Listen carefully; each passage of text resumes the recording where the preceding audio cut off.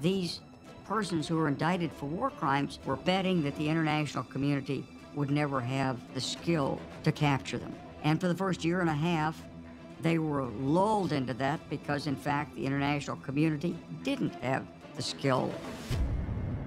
But when Prime Minister Tony Blair was elected, he went to President Clinton and said, I just don't think we can live with this peace agreement without justice. At that point, the president basically made the decision we're going to do everything possible to go after those targets.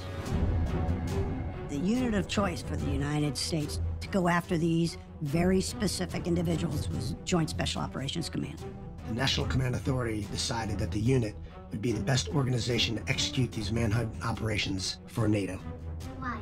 Number one, we're the highest trained Tier 1 force in the U.S. Two, we know how to blend in the civilian places, so we can conduct tactical level reconnaissance surveillance.